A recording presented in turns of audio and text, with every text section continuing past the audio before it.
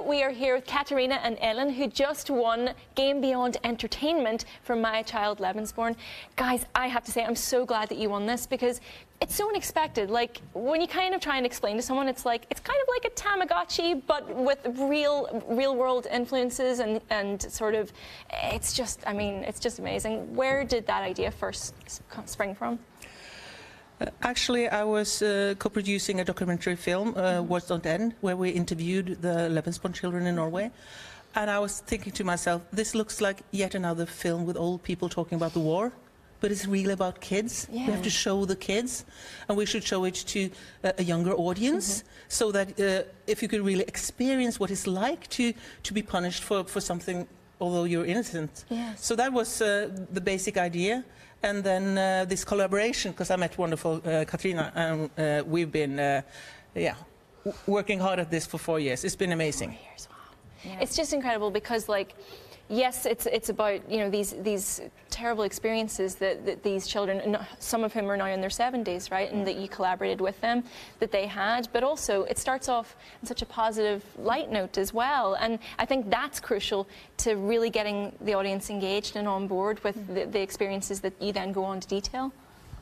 Yeah, definitely. And uh, also, actually, throughout the game, you do get these glimpses of happiness yes. because you know, people who, for instance, experience bullying or things like this, you, of, of, course, it's not all bad all the time, mm -hmm. but in this situation, it is pretty horrific. But I mean, the one thing that really saves this child is you as a player. Yeah. And we felt that was a very important part of it. We do get a lot of gamers who kind of go, oh, why, you know, can, can I change things? But it's mm -hmm. more mm-hmm. like, well, you are already changing things by trying.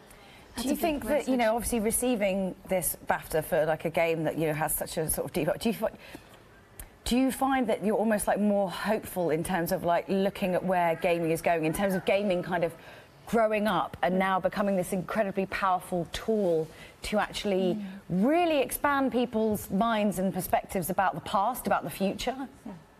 Absolutely. Uh, we, we launched um, um, 8th of May last year, and we've uh, had a, a, a wonderful uh, reception for the game, but we uh, are struggling to get mentioned in uh, mainstream media mm -hmm, mm -hmm. because games aren't culture. Mm if, if I made the do documentary film, I would yeah. get the, the interviews, but a game, no, no. That's so, yeah. So, uh, but that, and that, thank you to BAFTA because it changed change. with the nomination. Mm -hmm. yeah. It has already changed, and we're so grateful because we were our goal is really to, to get the game out there, yeah. to create mm -hmm. understanding yeah. for these children.